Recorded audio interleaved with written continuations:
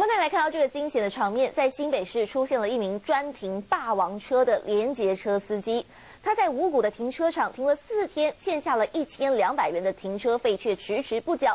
而当他准备要把车子开走的时候，管理员牵着摩托车挡在连结车前面理论，没想到这恶霸驾驶竟然就开着连结车直接冲撞管理员和机车。幸好这管理员及时跳开，但是摩托车已经被碾碎，而恶劣的行为也全部都被监视器给拍了下来。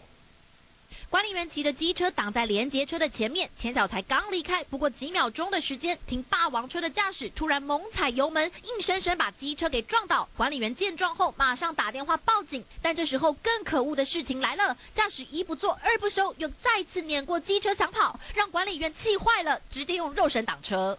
车子开出来就是引领机车在那边把它撞下去啊！你开大车的人会有死角，你那个有那个凸镜，你会你会看不清楚吗？